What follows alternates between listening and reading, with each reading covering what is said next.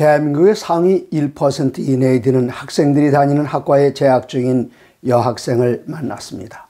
안식일 문제로 어려움은 없느냐고 물었더니 제게 안식일은 문제가 아니라 주님을 증거할 수 있는 기회였다고 대답했습니다. 안식일에 치르도록 정해진 중간고사 일자를 다른 날로 바꿔달라고 담당 교수에게 찾아간 것이 계기가 되었습니다. 안식일에 시험을 보지 못하는 이유를 묻는 교수에게 하나님의 창조와 안식일에 관해서 설명했습니다. 나중에 수업 시간에 그 교수가 학생들에게 창조와 안식일을 설명하더랍니다. 누가복음 21장 12절 13절입니다. 이 모든 일 전에 내 이름으로 말미암아 너희에게 손을 대어 박해하며 회당과 옥에 넘겨주며 임금들과 집권자들 앞에 끌려가려니와 이 일이 도리어 너희에게 증거가 되리라. 하나님의 모든 말씀으로 사시기 바랍니다.